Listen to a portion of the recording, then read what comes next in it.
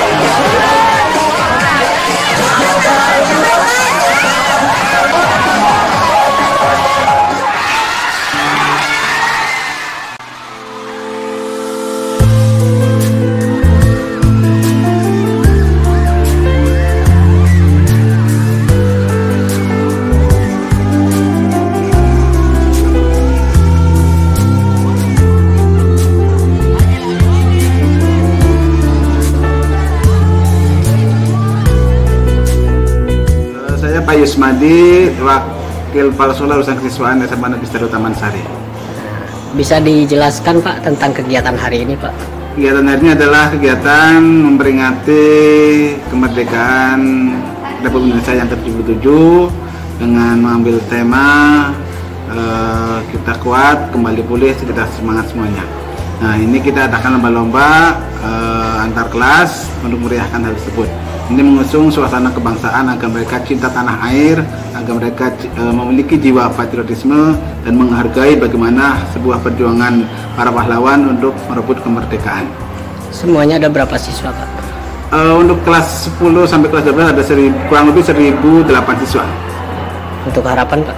Untuk harapannya adalah dengan kegiatan ini eh, mereka memiliki semangat juang yang tinggi, mencontoh perilaku eh, patriotisme para pahlawan eh, untuk mengisi kemerdekaan ini dengan semangat yang positif dan berjiwa Pancasila. Dengan dengan siapa Dek? Dengan Trinur Aini, saya sebagai Ketua Pelaksana acara 17-an di SMA yang 1 Negeri Taman Sari. Ya, Bisa dijelaskan tentang kegiatan hari ini? Jadi hari ini kita semua seluruh peserta dan siswa-siswi memakai baju yang bertemakan pahlawan. Itu sebagai bukti bahwa kita ini sangat menghargai para pejuang yang telah memerdekakan Indonesia kita ini. Untuk harapan Harapannya mungkin ke depannya kita bisa lebih maju lagi. Mungkin dari yang tadinya kita cuma pakai ber- pakai pakaian bertemakan pahlawan, mungkin ke depannya kita bisa bawa propertinya atau lain sebagainya. Robi Palapa TV mengabarkan.